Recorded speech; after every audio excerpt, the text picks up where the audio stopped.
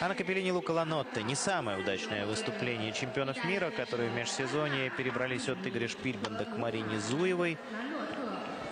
Позволило показать им только третий результат в соревновании танцоров. Честно говоря, ожидал от них несколько большего. Пусть многие и многие болельщики, любители фигурного катания говорят о том, что они были самыми невнятными и, возможно, даже несправедливыми чемпионами мира. Я не разделяю этого мнения. Если ты первый, то в справедливости этого мало кто может усомниться. А вот то, что первый старт нового сезона получился невразумительным, с этим согласен на 100%.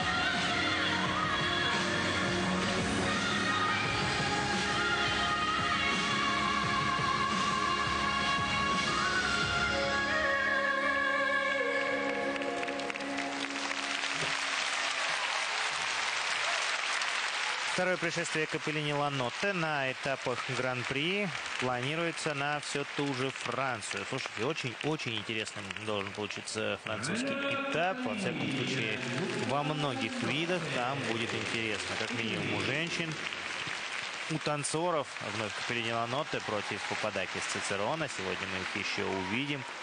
Уртадо Диос, пусть пока еще не очень сильная, но невероятно красивая испанская пара. Гиллис Пуарье, канадцы, Пол Ислам, Хабел Донахью. Да, в танцах в Бордо будет весело, будет интересно, да и в парах тоже прелюбопытно. В частности, Столбова Климов, Семе Кашмирим, Муртауэрс Маринаро тоже будет на что и на кого посмотреть. Про девочек уже говорили, а у мужчин во Франции еще раз выступит Максим Ковтун.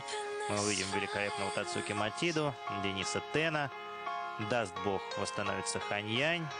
Константин Меньшов, снова Дорнбуш.